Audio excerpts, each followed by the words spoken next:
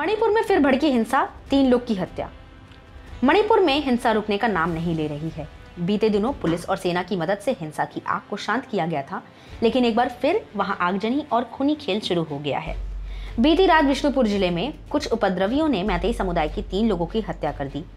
उपद्रवियों ने हिंसा के साथ कई घरों को भी जला दिया।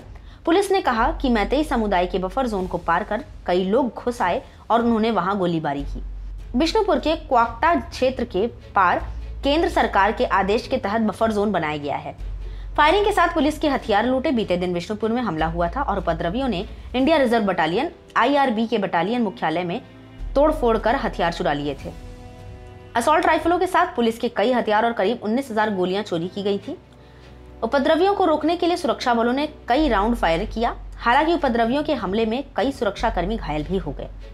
मणिपुर में हिंसा शुरू होने के बाद पुलिस ने गुरुवार को कहा कि पिछले 24 घंटे में राज्य में स्थिति तनावपूर्ण बनी हुई है। पुलिस ने कहा कि गोलीबारी और हिंसा की छुटपुट घटना हुई है और भीड़ में विष्णुपुर के किरेन फाबी और थंगलावई में पुलिस चौकी पर हमला किया गया है। पुलिस ने इसी के साथ जनता से अफवाहों पर विश्वास न करने और फर्जी वीडियो से सावधान रहने की अपील की है। पुलिस ने लोगों को फर्जी वीडियो की रिपोर्ट करने के लिए एक हेल्पलाइन नंबर भी जारी किया है।